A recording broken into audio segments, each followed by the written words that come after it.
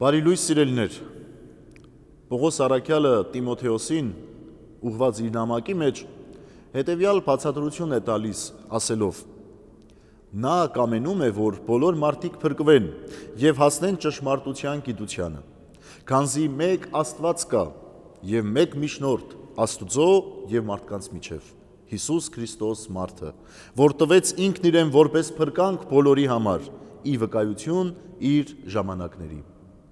Այո, սիրելիներ,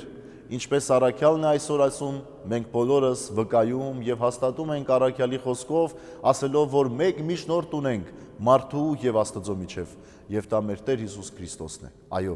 նա եղավ մեր փրկության միջնորդը։ Այլ մարդ չէր կարող այդ փրկությունը մեր կյանքի մեջ ապահովել։ Փրկության միջնորդությունը միայն մարդ Աստծուն էր մեր Տեր Հիսուս Քրիստոսին, Տիրոջ խոսքին մարմնացած եւ երգիր եկած, որբիսի մեզ բոլորիս ազատագրի մեղքի կաբանքներից եւ առաջնորդի դեպի Հայր Աստված հաշտություն հաստատելով մեր եւ Հայր Աստծո մեջ։ Այսպիսին է մեր Տեր Հիսուս Քրիստոսի միջնորդությունը։ Եվ մենք բոլորս քաչ գիտակցում ենք, որ միայն եւ միայն Քրիստոսի թափած արյան գնով է, որ մեր փրկությունը հաստատվում է մեր կյանքերի մեջ։ Ուրեմն սիրելիներ, հավատարիմ լինենք այդ արյանը, այն մարմնին, որ Տերը բաշխում է յուրաքանչյուր մեկից, որբիսի ճաշակելով, համտեսելով Տիրոջ քաղցրությունը,